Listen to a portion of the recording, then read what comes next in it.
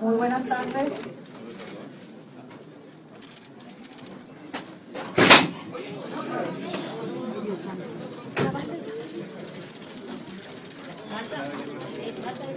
Buenas tardes. No lo güero, güey. Cuando se va llevando el presidente, entre ellos de